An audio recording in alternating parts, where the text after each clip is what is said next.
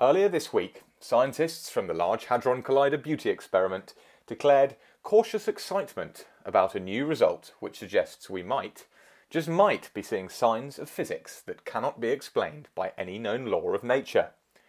Now, to give full disclosure, I myself am a scientist at the Large Hadron Collider Beauty Experiment, and I can confirm that I am cautiously excited. So, what is this result, and why is it getting people excited. In particle physics, we have this beautiful theory which describes how fundamental particles interact with each other. We call it the Standard Model. It's pretty damn spectacular and has basically predicted every observation of particle interactions we've cared to look at. The holy grail of particle physics analysis is to find something new that goes beyond this. The result announced this week measures decays of beauty quarks to strange quarks and two leptons which can either be electrons or their heavier cousins muons.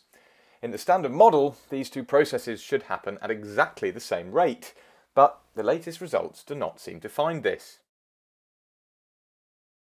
If, and it's still a very cautious if, these results are what they seem to be, then the only explanation is that there is some new fundamental particle, or fundamental force of nature, which treats the muons and electrons differently, it must also couple to quarks, and it ends up interfering with these decays to make their decay rates different.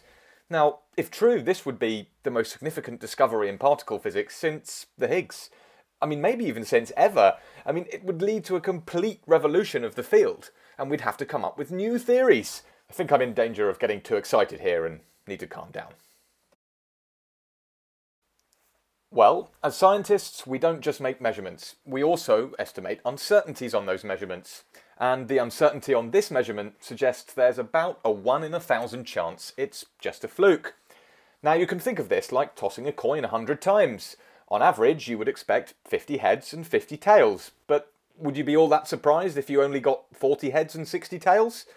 Well, the 1 in a thousand chance of fluke in this measurement is equivalent to about 1200 tosses, giving 650 heads and 550 tails.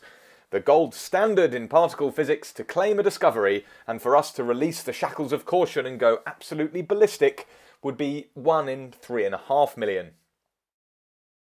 We need more data, and we need to investigate other similar decays to see if these hints become an unequivocal discovery.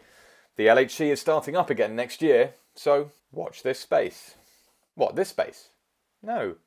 This space? No. This space.